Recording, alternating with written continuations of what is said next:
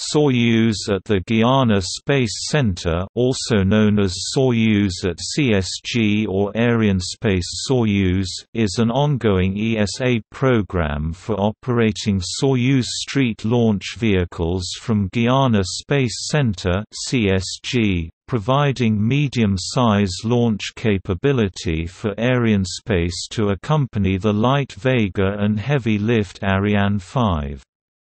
The Soyuz vehicle is supplied by the Russian Federal Space Agency with TSSK-B Progress and NPO Lavochkin, while additional components are supplied by Airbus, Thales Group and RUAG. The Arianespace Soyuz project was announced by the ESA in 2002. Cooperation with Russia began in two areas, construction of a launch site for Soyuz in CSG and development of the Soyuz launch vehicle modified for the Guiana Space Center. A program declaration was signed in 2003 and funding along with final approval was granted on 4 February 2005. Initial excavation for the Ensemble de Lancement Soyuz ELSE, Soyuz Launch Complex began in 2005, construction started in 2007, and the launch complex was completed in early 2011, allowing Arianespace to offer launch services on the modified Soyuz Street B to its clients. Two early flights, VS-02 and VS-04, and a recent flight, VS-17, used the Soyuz Street A variant. Since 2011, Arianespace has ordered a total of 23 Soyuz rockets, enough to cover its needs until 2019 at a pace of 3 to 4 launches per year.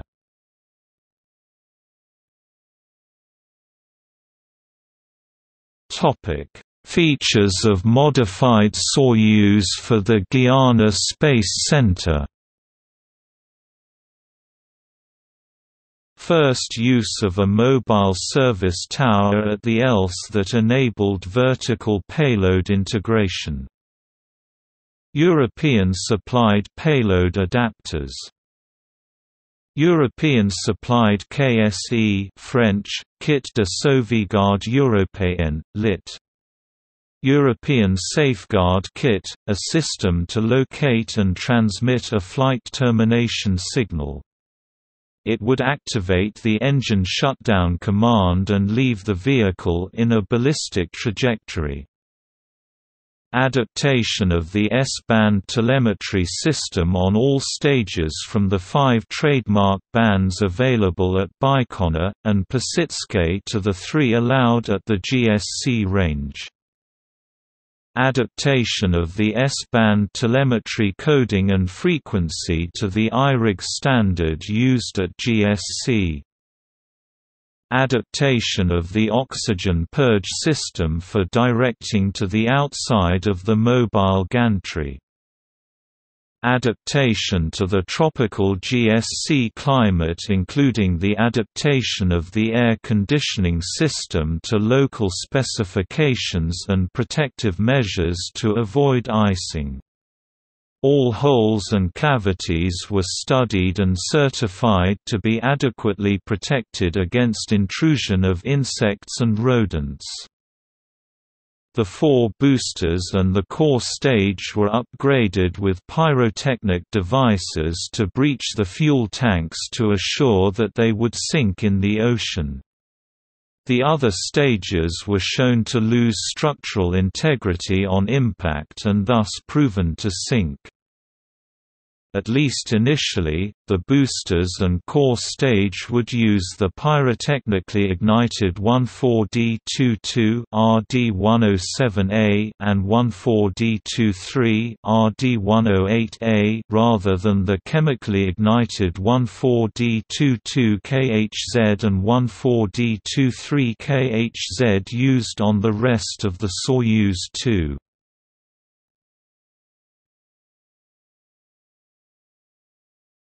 Topic: Vehicle processing Soyuz components arrive at the CSG via ship, and are unloaded and placed in a storage area. From there, the components are brought to the Launch Vehicle Integration Building where they're assembled horizontally in an air-conditioned environment. First four boosters are attached to the core stage, and then third stage is attached to the core, identical to the procedure at Baikonur and Plesetsk Cosmodrome. Separately, the payload is mounted on a dispenser in a payload processing facility and then transferred into the S-3B building to be mounted to the Fregat upper stage and then encapsulated in a fairing. Subsequently, the first three stages of the Soyuz Street are transported from the integration building to the launch pad by a train which also erects the rocket to the vertical position at the pad, where Soyuz is suspended by four support arms. Once vertical, a mobile gantry moves in and encloses Soyuz following that the encapsulated Fregat and payload is lifted vertically by a mobile gantry to be mounted on top of Soyuz. The mobile gantry is retracted an hour before the launch.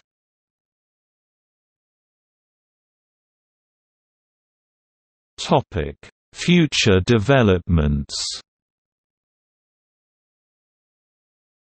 Arianespace plans to operate Soyuz until at least the end of 2019, and as of 2014 intended to continue operating Soyuz alongside the planned Ariane 6 when that launcher makes its debut. However, the announcement of new Ariane 6 designs from Airbus and Safran opens the possibility of Ariane 6.2 replacing Soyuz.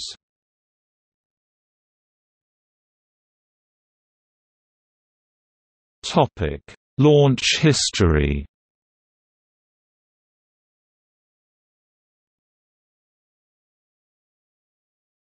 Topic: Inaugural flight. The first contract for the launch of Soyuz Street B from Guiana Space Center was signed at the 2009 Paris Air Show by the director of the Galileo program and navigation-related activities René Oosterlinck and a CEO of Arianespace Jean-Yves Le Gall. This contract covered two launches of two Galileo satellites each. The contract for the satellites themselves had already been signed by ESA and Galileo Industries in 2006. Launch vehicle components shipped from St. Petersburg first arrived in French Guiana by ship in November 2009. The Soyuz launch site acceptance review took place during the last week of March 2011, leading to the first simulated launch campaign between 29 April and 4 May. The launch site was officially handed over from ESA to the Arianespace on 7 May 2011. Assembly of the Soyuz Street B begun on 12 September 2011 in the Assembly and Testing Building, while two Galileo satellites underwent final tests after their arrival from Thales Alenia Space Facilities in Italy on 7 and 14 September. The launch was planned for 20 October, however an anomaly was detected in the pneumatic system responsible for disconnecting the fuel lines from Soyuz third stage, forcing the mission to be postponed for 24 hours.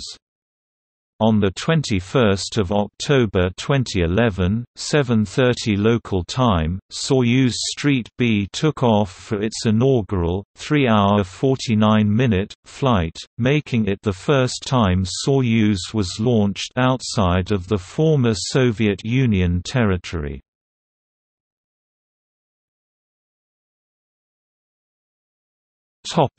Flight VS-09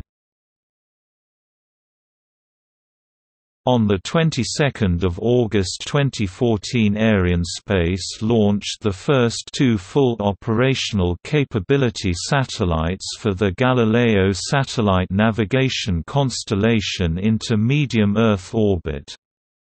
The mission appeared to proceed normally and Arianespace reported the launch to be a success, however analysis of telemetry data provided by ESA and CNES tracking stations showed that the satellites were injected into an incorrect orbit. The orbit was determined by the European Space Operations Centre within three hours after the separation from launcher, and the satellites were operating normally and under control.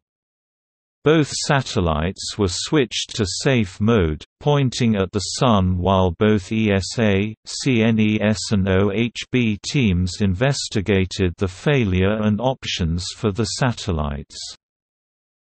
On 25 August Arianespace announced the creation of an independent inquiry commission to investigate the anomaly. On 28 August details emerged on the events that most likely led to a failure of the Fregat upper stage. At the end of the reorientation phase the flight control system detected an incorrect angular speed and unsuccessfully attempted to use thrusters to correct the situation. The flight control system did not detect the thruster issue and continued the flight plan with the upper stage oriented in a wrong direction, leaving the satellites in an incorrect orbit. In late September, the Roscosmos Commission report, quoted by Izvestia, indicated that the Fregat failure was due to a design flaw leading to freezing in one of the hydrazine propellant lines, which was placed alongside a line carrying cold helium used for pressurization of the main propellant tanks.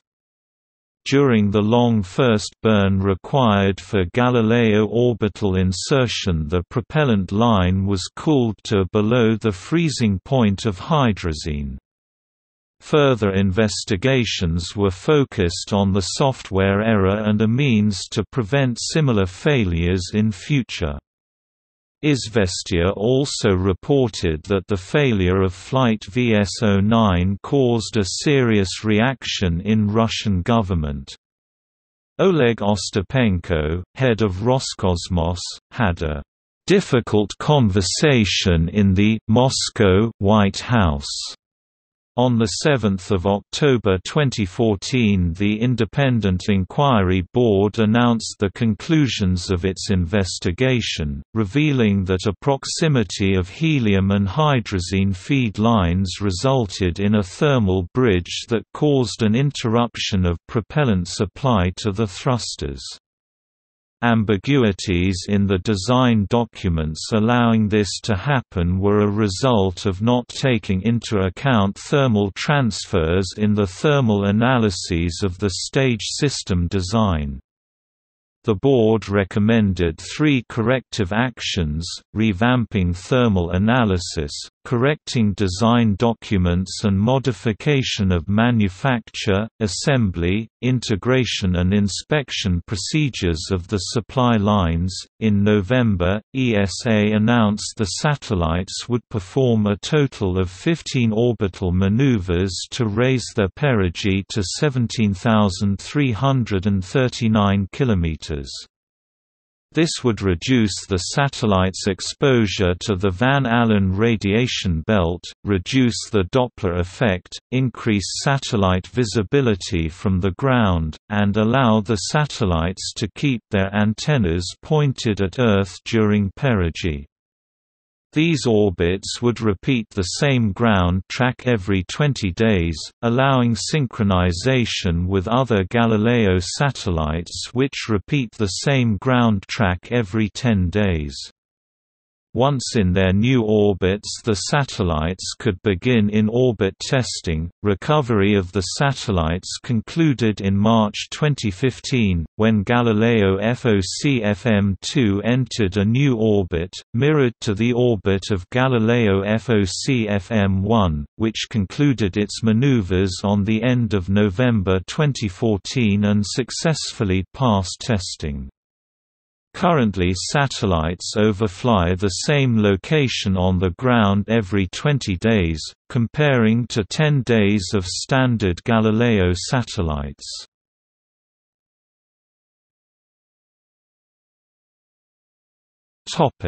Missions All times above are local times in French Guiana UTC-3. Topic: Scheduled flights. All times above are local times in French Guiana UTC-3. Topic: Statistics.